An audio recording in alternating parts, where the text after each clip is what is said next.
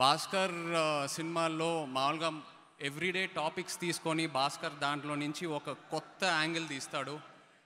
ఒక కొత్త కాన్ఫ్లిక్ట్ తీస్తాడు. And it's very thought provoking. And human ఎమోషన్స్ని చాలా బాగా హ్యాండిల్ చేస్తాడు Bhaskar. So so looking forward to bachelor Bhaskar.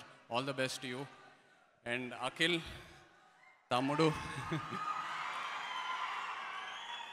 Akhil ఒక సినిమా రిజల్ట్ కన్నా దానికి ప్రిపేర్ అయ్యే ప్రాసెస్ని ఎక్కువ ప్రేమిస్తాడు. అదే నాకు బాగా ఇష్టం అఖిల్లో. అండ్ నెక్స్ట్ సినిమాయే కాదు next four five six years ఎలా చేయాలి ఎలాంటి సినిమాలు చేయాలి ఎలాంటి క్యారెక్టర్స్ చేయాలి అన్నీ తన మైండ్లో ఆల్రెడీ ఉన్నాయి. ఒక మాస్టర్ ప్లాన్ ఉంది. అండ్ తను ఎలాగైనా అది చేసే తీరుతాడు. తన్ తనలో ఉన్న డెడికేషన్ అది. And I'm so so happy. నాకు ఇంకా అఖిల్ ఎందుకో సిసింద్రిలో అలా పాక్కుంటూ వస్తాడే.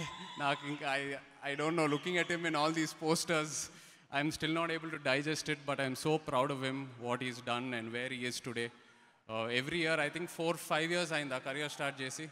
ఎవ్రీ ఇయర్ ఇంట్లో నేను ఒక కొత్త అఖిల్ని చూస్తూ ఉంటాను. తన ఫిజిక్ అయినా తన బాడీ లాంగ్వేజ్ అయినా తను ఒక సినిమాకి అంత డెడికేట్ అవుతాడు. I'm so happy for you brother. Wishing you all the very best.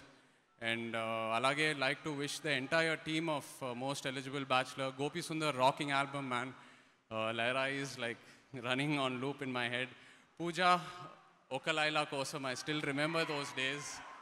You've come so far. I'm so, so proud of you. Like, such amazing films, such amazing characters. So happy for your journey, Pooja. Keep going. All the best to you. Uh, to the entire team of Most Eligible Bachelor, like to wish you all the very best. October fifteenth trailer చూస్తే నాకు ఈ cinema ఒక సెలబ్రేషన్లా అనిపించింది. And ఇలాంటి టైంలో థియేటర్లో మన ఆడియన్స్కి ఒక సెలబ్రేషన్ కావాలి. అండ్ ఈ సినిమా సెలబ్రేషన్ ఇస్తుందని బాగా నమ్ముతున్నాను.